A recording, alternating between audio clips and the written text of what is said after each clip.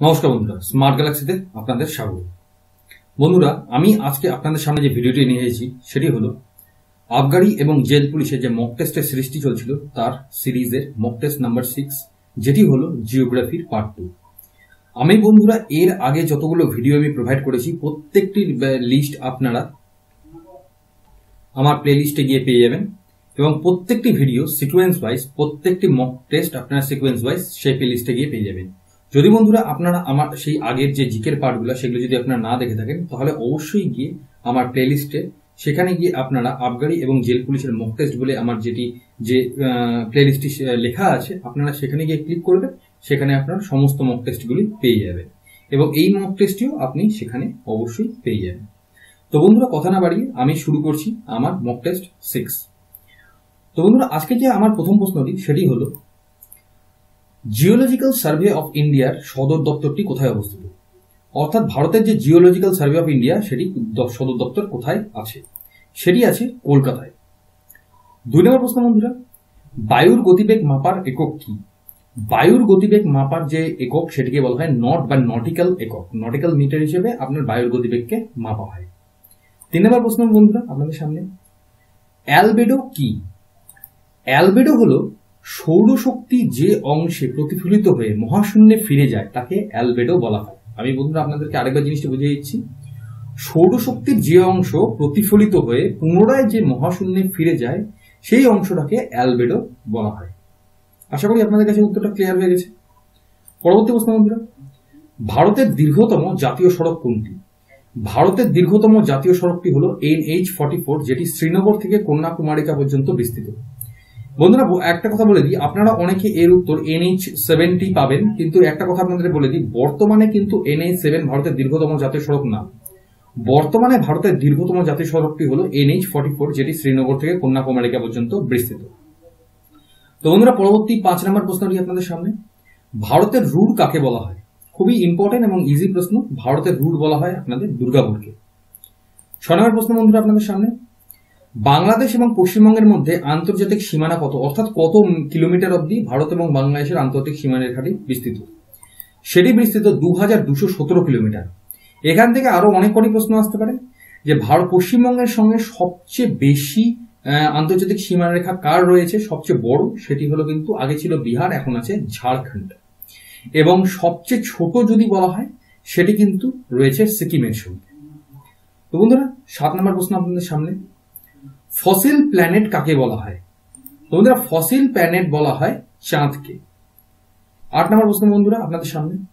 পৃথিবীর কোন দেশের সবচেয়ে বেশি দীর্ঘতম তট তটরেখা রয়েছে? অর্থাৎ সমুদ্র উপকূলের যে তটরেখা, সেটা পৃথিবীর কোন দেশে সবচেয়ে বড় রয়েছে দীর্ঘতম? সেটি কিন্তু রয়েছে কানাডায়। ভারতের যদি দীর্ঘতম তটরেখা বলা হতো, তাহলে কিন্তু সেটি হতো গুজরাট। নয় নম্বর প্রশ্ন, বন্ধুরা, আপনাদের সামনে। পৃথিবীর ব্যস্ততম মহাসাগর কোনটি? পৃথিবীর ব্যস্ততম মহাসাগর হলো আটলান্টিক মহাসাগর। এটা কোন পরিপ্রেক্ষিতে বাণিজ্যিক দিক থেকে, সামুদ্রিক বাণিজ্যিক দিক থেকে পৃথিবীর ব্যস্ততম মহাসাগরটি হলো আটলান্টিক মহাসাগর? দশ নম্বর প্রশ্ন বন্ধুরা, খুবই গুরুত্বপূর্ণ। সূর্য উপস্থিত, অর্থাৎ সূর্য উপস্থিত হাইড্রোজেন এবং হিলিয়ামের অনুপাত কত? আপনারা খুব ভালো করে জানেন যে সূর্যের মধ্যে হাইড্রোজেনের পরিমাণ সবচেয়ে বেশি থাকে। সেটি হলো থ্রি এবং হিলিয়াম তারপরে সেটি হলো ওয়ান এবং এখানে যে শক্তির উৎস, এর আগের দিন আপনাদের বলে দিয়েছিলাম আমি যে এর যে শক্তির উৎস, সেটি হলো কিন্তু নিউক্লিয়ার ফিউশন এগারো নম্বর প্রশ্ন বন্ধুরা, ভারতের প্রথম কার্বন মুক্ত রাজ্য কোনটি? এটি আপনাদের কারেন্ট অ্যাফেয়ার্স এর মধ্যেও আসতে পারে, অথবা এটা কিন্তু আপনাদের জিওগ্রাফির কোশ্চেন হিসেবেও আসতে পারে। সেটি হলো হিমাচল প্রদেশ। বারো নম্বর প্রশ্ন বন্ধুরা, আপনাদের সামনে। ভারতের বৃহত্তম লোকসভা কেন্দ্র কোনটি? ভারতের বৃহত্তম যে লোকসভা কেন্দ্র, সেটি হলো লাডাখ। লাডাখ হলো ভারতের বৃহত্তম লোকসভা কেন্দ্র। তেরো নম্বর প্রশ্ন, বন্ধুরা। এশিয়ার দীর্ঘতম হাইওয়ে টানেল কোনটি? এশিয়ার দীর্ঘতম হাইওয়ে টানেলটি হলো চেনানি নাসরি টানেল সেটি কোথায় অবস্থিত? জম্মু কাশ্মীরে অবস্থিত। পরবর্তী প্রশ্ন, বন্ধুরা। এশিয়ান কত সালে গঠিত হয়? এই এশিয়ান যে সংস্থাটি এর যে সদর দপ্তর সেটা মানিলা ফিলিপাইন্সে রয়েছে। এটি গঠিত হয়েছিল উনিশশো সাতষট্টি খ্রিস্টাব্দে। বিভিন্ন যে সকল প্রতিষ্ঠানগুলো আছে, তাদের যে সদর দপ্তর কোনটি কোথায় অবস্থিত, যেমন আইএমএফ এছাড়াও আপনাদের হচ্ছে যেটি ওয়াশিংটন ডিসিতে অবস্থিত তারপরে হচ্ছে আমাদের যে আন্তর্জাতিক আন্তর্জাতিক মুখ্য বিচারালয়, সেটি হেগে অবস্থিত। এই সকল যে প্রশ্নগুলো কিন্তু আপনাদের প্রায় কিন্তু আসতে থাকে। ডাব্লিউএইচ এর সদর দপ্তর এক্সেট্রা পনেরো নম্বর প্রশ্ন বন্ধুরা আপনাদের সামনে, ভারতের সর্বনিম্ন বিন্দু কোনটি? ভারতের সর্বনিম্ন যে বিন্দুটি, সেটি হলো কেরালার কুট্টানাট কেরালার যে কুট্টানাট সেটি কিন্তু ভারতের সর্বনিম্ন বিন্দু। শহীদ এবং স্বরাজ দ্বীপ কাকে বলা হয়? শহীদ এবং স্বরাজ দ্বীপ বলা হয় আন্দামান এবং নিকোবর দ্বীপকে যথাক্রমে, অর্থাৎ শহীদ দ্বীপ বলা হয় আন্দামানকে এবং স্বরাজ দ্বীপ বলা হয় নিকোবরকে। শহীদ এবং স্বরাজ দ্বীপ কাকে বলা হয়? সেটা বলা হয় আন্দামান, নিকোবর। ভারতের কোন নদীকে স্কাই রিভার নামে পরিচিত? ভারতের ব্রহ্মপুত্র নদীটি স্কাই রিভার নামে পরিচিত। পরবর্তী প্রশ্ন বন্ধুরা, আঠারো নম্বর প্রশ্ন আপনাদের সামনে। গঙ্গা অ্যাকশন প্ল্যানের কার তত্ত্বাবধানে হয়েছিল? অর্থাৎ কোন প্রধানমন্ত্রীর তত্ত্বাবধানে গঙ্গা অ্যাকশন প্ল্যানটি তৈরি করা হয়েছিল? সেটি তৈরি করা হয়েছিল তৎকালীন প্রধানমন্ত্রী রাজীব গান্ধীর আমলে। উনিশ নম্বর প্রশ্ন বন্ধুরা আপনাদের সামনে। কোন রাজ্যে সবচেয়ে বেশি অরণ্য রয়েছে? এটি হবে মধ্যপ্রদেশ। এবার বন্ধুরা, আপনাদের এখান থেকে আরেকটি প্রশ্ন আসতে পারে। আপনারা একটু কেয়ারফুলি শুনবেন। যদি ভারতের কোন রাজ্যে সবচেয়ে বেশি অরণ্য রয়েছে যদি হয়, তাহলে তার কিন্তু উত্তর অবশ্যই হবে মধ্যপ্রদেশ। কিন্তু যদি শতকরা হার, অর্থাৎ পার্সেন্টেজ জমির পরিমাণের হিসেবে পার্সেন্টেজ যদি ধরা হয় যে সবচেয়ে বেশি পার্সেন্ট অরণ্য কোন রাজ্যে রয়েছে, সেটি কিন্তু হবে আপনার মিজোরাম। সেটা কিন্তু মধ্যপ্রদেশ হবে না। কিন্তু যদি কোনো পার্সেন্টেজ বা শতকরার কথা না থাকে, তাহলে কিন্তু সেটা হবে আপনাদের মধ্যপ্রদেশ। পরবর্তী প্রশ্ন বন্ধুরা। পৃথিবীর প্রথম ন্যাশনাল পার্কের নাম কি?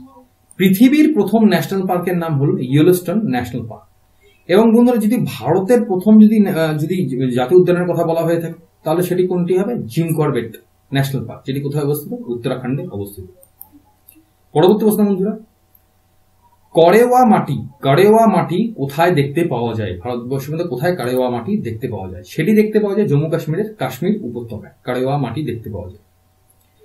বাইশ নম্বর প্রশ্ন বন্ধুরা, ভারতের কোন রাজ্য প্রথম ফুল অর্গানিক স্টেট নামে পরিচিত? বন্ধুরা, আপনাদেরকে একটা আমি ট্রিক এখানে বলছি, যদি অর্গানিক কথাটি কোন রাজ্যের সঙ্গে জড়িত হিসেবে এরকম কোনো প্রশ্ন আপনাদের আসে, আপনারা চোখ বন্ধ করে সেইটিকে সিকিম উত্তর করবেন যে কোনো অর্গানিক ইস্যু প্রত্যেকটা বিষয় সিকিমের সঙ্গে জড়িত। এবং এটি হয়েছিল উনিশশো সরি দু হাজার পনেরো সালে। এই পরিচিতি লাভ করেছিল ফুলি অর্গানিক স্টেট হিসেবে। ভারতের প্রথম জলবিদ্যুৎ কেন্দ্র কোথায় স্থাপিত হয়?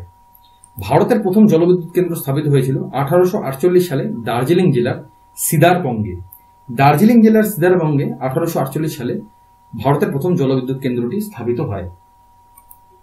চব্বিশ নম্বর প্রশ্ন বন্ধুরা, ভারতের বৃহত্তম পারমাণবিক বিদ্যুৎ কেন্দ্র কোনটি? ভারতের বৃহত্তম যে পারমাণবিক বিদ্যুৎ কেন্দ্র সেটি হলো তারাপুর, যেটি স্থাপিত হয়েছিল উনিশশো উনসত্তর সালে এবং এটি কিন্তু ভারতের প্রথম পারমাণবিক কেন্দ্র হিসেবে পরিচিত। আজকের বন্ধুরা সর্বশেষ প্রশ্ন, এবং খুবই গুরুত্বপূর্ণ প্রশ্ন, এবং কিছু দিন আগে কোনো এক পরীক্ষায় পিএসসির এই কোশ্চেনটি কিন্তু এসেছিল যে কত সালে চন্দননগর ভারতের সঙ্গে যোগদান করে? যখন উনিশশো সাতচল্লিশ সালে পশ্চিমবঙ্গটি স্থাপিত হয়, তখন কিন্তু চন্দননগর ভারতের সঙ্গে যোগদান করেনি। সেটি যোগদান করেছিল উনিশশো পঞ্চাশ সালে, এবং এটি কিন্তু খুবই গুরুত্বপূর্ণ প্রশ্ন। তো বন্ধুরা, আমার যে ভিডিওটি, সেটি আজকে এইটুকুই। আমি যে পরবর্তী ভিডিওটা আনব, সেটি আমি খুব শীঘ্রই আপনাদের সামনে নিয়ে আসব। এবং তার যদি সমস্ত সেটগুলো, সমস্ত মক টেস্টগুলো বন্ধুরা আপনারা দিতে চান, তাহলে অবশ্যই আমার চ্যানেলটি সাবস্ক্রাইব করে রাখুন এবং নোটিফিকেশন বেলটি অবশ্যই অন করে রাখবেন। এবং যাবতীয় যত প্রশ্ন আপনাদের মক টেস্টের উপরে হবে, তার আমি আগেও বলেছি যে প্লেলিস্টে আপনারা যাবেন, সমস্ত মক টেস্ট আপনারা সেখান থেকে পেয়ে যাবেন। তো বন্ধুরা, আজকের মতো এতটাই। খুব শীঘ্রই আপনাদের সঙ্গে দেখা হবে। নমস্কার।